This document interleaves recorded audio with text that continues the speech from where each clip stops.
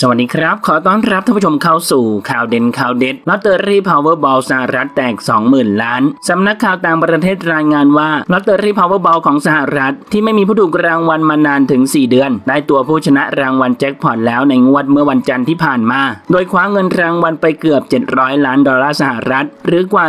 21,000 ล้านบาท แต่ยังไม่มีการเปิดเผยชื่อคนชนะ การออกรางวัลมีขึ้นเมื่อวันจันทร์ตามเวลาในสหรัฐ มีเงินแจ็คพอตอยู่สูงถึง 699.8ล้านดอลลาร์ หรือราว 21,000 ล้านบาท ถือว่าเป็นรางวัลที่ใหญ่ที่สุดเป็นอันดับ 7 ในประวัติศาสตร์ของสหรัฐ กระนั้นผู้ที่คว้ารางวัลไปนั้น คาดว่าจะไม่ได้รับเงินเต็ม เพราะจะต้องเสียภาษี